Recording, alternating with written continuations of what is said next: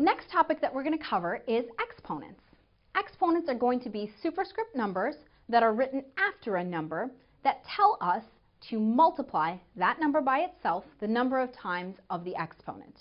So, for example, 2 raised to the third power is going to be the same as 2 times 2 times 2, or 2 times itself 3 times. Now, there are a number of rules that govern how we manipulate exponents, and these are going to come in handy when we're dealing with numbers that are too large to calculate on test day. So, for example, the first bullet point tells us that a to the b times a to the c is going to be equal to a to the b plus c. What this means is that when you have two numbers with the same base and you're multiplying them, you can keep the base the same and add the two exponents in order to simplify the expression. The next example tells us that when you're dividing two numbers that contain exponents, you keep the base the same and then subtract your two exponents in order to simplify. Our third example, a to the b raised to the c power, is for examples in which we have a number raised to a power and then that entire quantity is raised to another power. In that situation, you're going to take the same base and multiply your two exponents in order to simplify. Next, when you see a negative exponent, the way to convert that expression is to take 1 over the same base and raise it to the positive exponent. So for example, a to the negative b power is going to be equal to 1 over a to the b. Now there's a couple of other things that you need to keep in mind when you're dealing with exponents. If you're doing a fraction and raising that fraction to a positive exponent greater than 1, you're actually going to get a smaller value. The higher the exponent, the smaller the result. So for example, 1 half squared is actually going to give you 1 fourth, smaller than the fraction that we started with. Also, you need to keep in mind that negative numbers are going to give negative and positive results depending on the property of the exponent. So for example, when a negative number is raised to an even exponent, the result is going to be positive because all of those negative signs are going to cancel out when being multiplied by each other. When a negative number is raised to an odd exponent, however, the result is going to be negative. Let's try an example.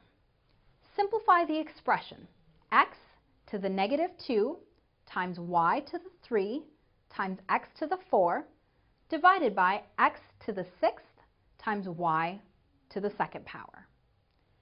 First thing we want to do in a situation like this is combine like terms in the numerator and the denominator. In our numerator, we have two terms that contain the same base, x. and when we multiply two quantities with the same base, we add our exponents in order to simplify. So x to the negative 2 times x to the fourth is going to equal x squared. That's the only like terms in the numerator, and there are no like terms that need to be combined in the denominator. So our simplified expression so far is x squared times y to the third over x to the sixth times y squared. Now we can combine like terms over the fraction bars.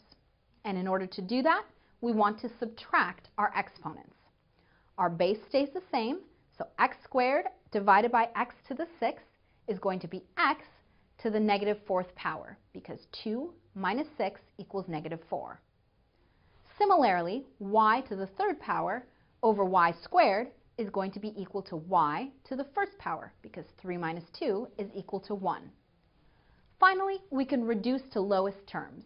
Because we have a negative exponent, we can reduce to y over x to the fourth power. Now let's go through a few exponent exercises. Take a few moments to go through the following exercises, and when you're finished, we'll check your answers and then walk through a few of these examples together.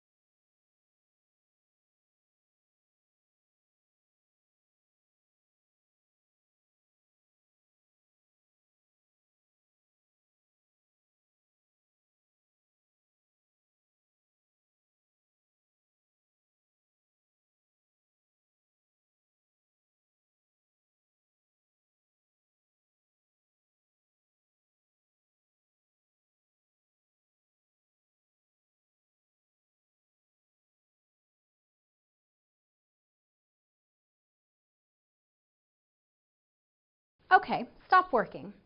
Go ahead and check your answers.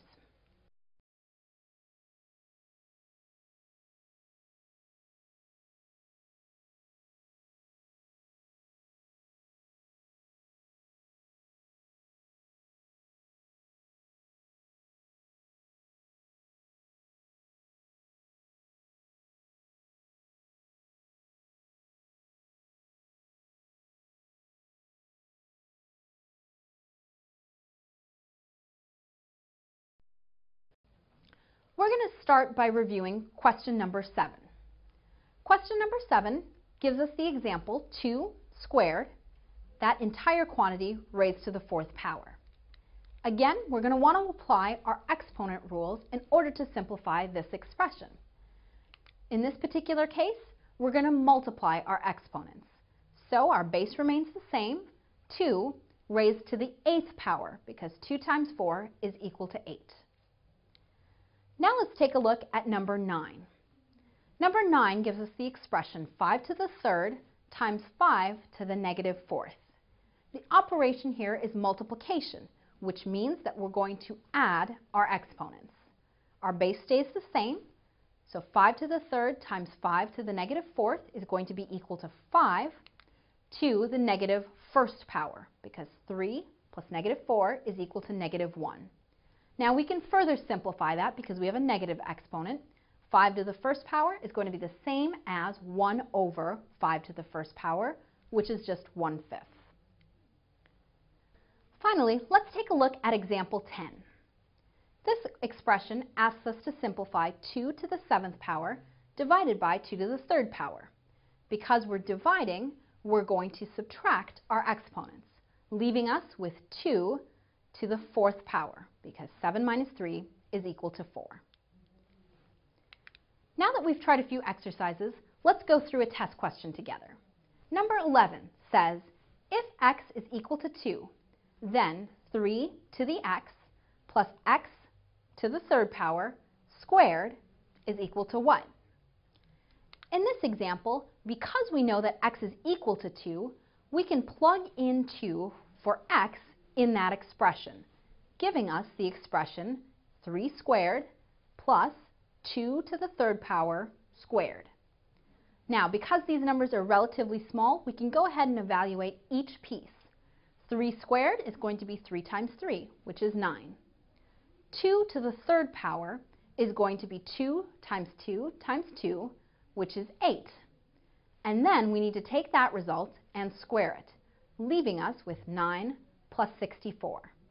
Our final step is to just complete the sum. 9 plus 64 is equal to 73, which gives us answer choice E.